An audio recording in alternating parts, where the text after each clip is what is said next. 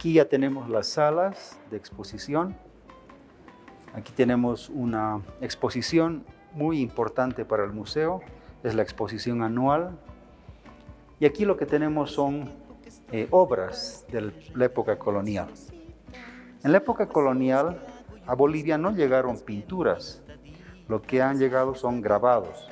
Grabados son producidos en serie y son en blanco y negro fundamentalmente. Entonces estos grabados les entregaban a los pintores y los pintores esos grabados, generalmente de temas eh, bíblicos, los traducían en lienzos o en muros de templos.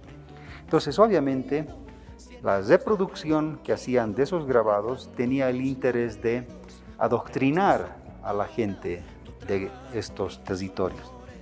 Lo mismo pasó en la época feudal en Europa la pintura también era una forma de adoctrinamiento en los preceptos religiosos católicos. ¿no? En la Europa feudal también habían analfabetos, no sabían leer, no, no podían leer la Biblia. Entonces a través de las imágenes religiosas les inculcaban los preceptos bíblicos. Y eso mismo querían hacer aquí, hicieron aquí en, estas tierras. Y a partir de la reproducción de estas pinturas es que ellos trataban de mm, enseñarles eh, preceptos religiosos católicos. Vamos a ver un cuadro que me ha impresionado. Es un cuadro, es, es un cuadro anónimo este que, que viene acá. Sí, la mayoría de los cuadros que están en esta exposición son de pintores anónimos. No tenemos la firma de estos pintores porque muchos de ellos no sabían escribir, pero eran muy hábiles para dibujar y pintar. ¿no? Este es un cuadro muy valioso de uno de los santos, eh, y aquí producían también para exportar estas pinturas. Vamos a ver acá eh, de qué se trata, querido Iván. Esta es una obra donde se representa al concierto de santos y vírgenes que nos relata la Biblia. Aquí hay varios eh, santos y vírgenes que están ya en, en el cielo y obviamente es probable que sean los santos que protegían a la población de entonces y eran santos y vírgenes a los cuales apelaban en sus rezos los feligreses. Entonces, el Museo Nacional de Arte tenemos dos pisos con cuántas salas? Sí, aquí tenemos prácticamente seis salas, ¿no? Aquí dos, otras dos y otras dos. Sí. Estos, estas salas son principalmente para exponer eh, las obras de colección del museo. Después lo que tenemos un poco más hacia la calle, ahí organizamos a veces exposiciones con obras del museo, pero principalmente con obras de otros artistas. Son para las exposiciones temporales. Y la colección del museo, estamos hablando de, de más o menos cuántos cuadros, obras. Tenemos un poco más de 4.000 bienes culturales, entre pinturas, esculturas, eh, cerámicas, querus, eh, es aproximadamente 4.000. Y bueno, últimamente eso se ha em, incrementado con la donación que ha hecho em, la familia Gil Imaná e Inés Córdoba, que también han donado eh, sus obras y con esas obras vamos a abrir eh, un museo en lo que era su casa. En Sopocachi, ¿no? En Sopocachi, así. Y aquí, por ejemplo, ¿qué colecciones destacarías así de esas 4.000? ¿Qué colecciones son las más icónicas? Bueno, eh, la colección de obras eh, coloniales, ¿no? Es importante esa colección.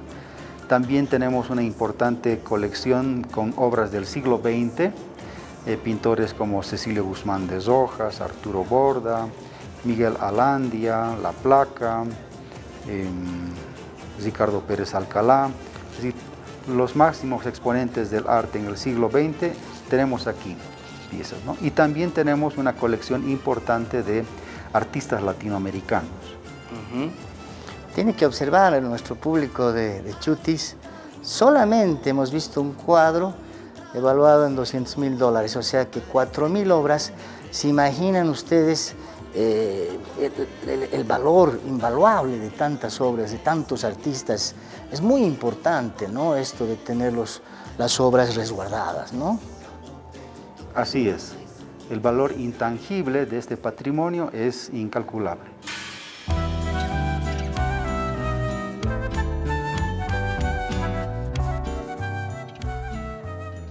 Entonces nos contabas, querido Iván, que este predio, esta construcción, está fechada en el año 1775, ¿no? Así es, allá en la portada tenemos el año en que eh, este edificio fue mm, entregado a sus propietarios. El propietario de este edificio era Francisco Tadeo Díez de Medina.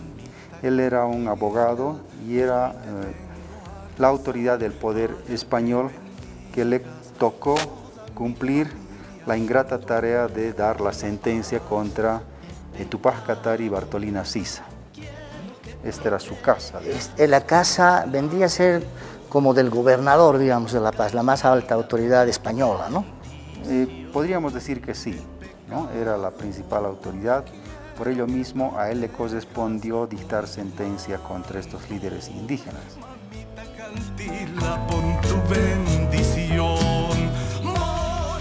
¿Cuándo, digamos, es la fecha paradigmática para decir que el predio se vuelve Museo Nacional de Arte? Esto ocurrió en 1966. En 1966 se abre este museo al público, pero antes, en 1960, este predio que pertenecía a la alcaldía fue transferido al Ministerio de Educación. Entonces se hicieron los trabajos de restauración y una vez concluidos esos trabajos, que duraron más de seis años, esto se entregó al público. Y a partir de esa fecha aquí se han realizado importantes eh, exposiciones de pintura, escultura, arte visual, arte contemporáneo. Este edificio en 1930 fue declarado Museo Nacional. Ah, 1030. Sí, 1930. Y obviamente ese es un atractivo para la gente, ¿no? La gente viene y obviamente aprecia este patio, que es probablemente único en, el país y en, la zona donde estamos, ¿no? Y ah. desde aquí podemos apreciar otros edificios de importancia en la ciudad, ¿no? Allá podemos ver la catedral, la catedral es básicamente del siglo XIX. Tenemos el edificio del Banco Central y eso fue construido en el siglo XX. Y tenemos la Casa Grande del Pueblo que fue construida en el siglo XXI.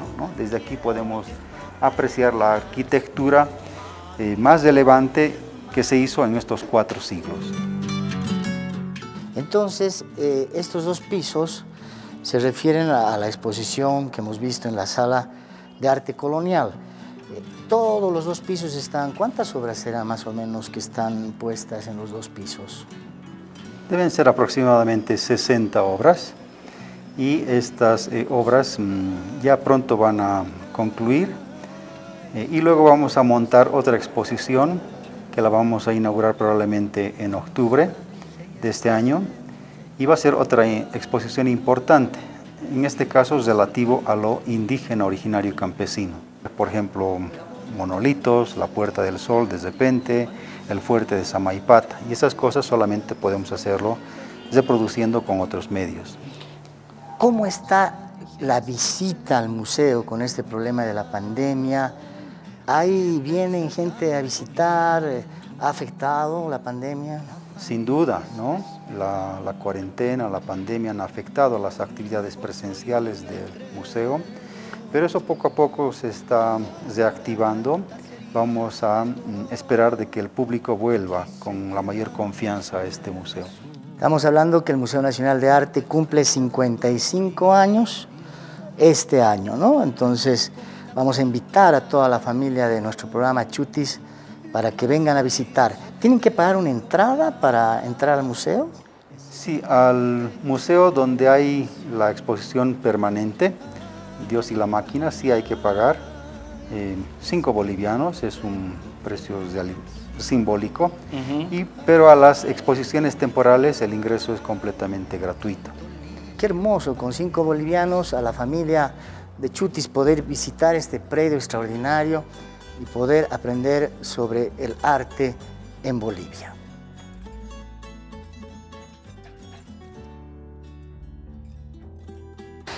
Querido Iván, te agradezco mucho el paseo que nos has hecho por el Museo Nacional de Arte.